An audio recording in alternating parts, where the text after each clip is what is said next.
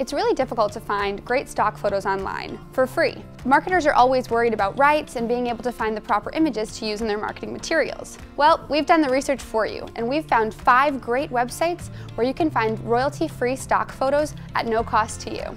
So here are some great sites that you can use. The first is Death to the Stock Photo.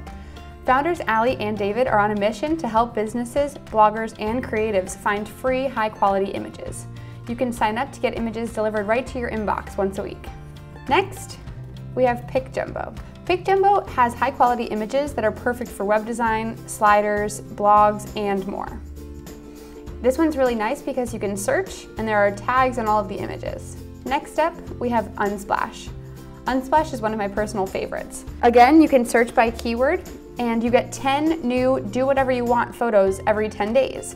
You are guaranteed by Unsplash the freedom to copy, modify, distribute, and use all photos without permissions or attribution. So this one you know you're safe. And they have some really great pictures here. Next up we have stocksnap.io.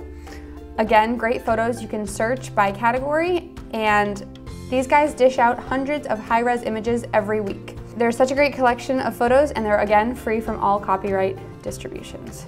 All right, last we have startup stock photos.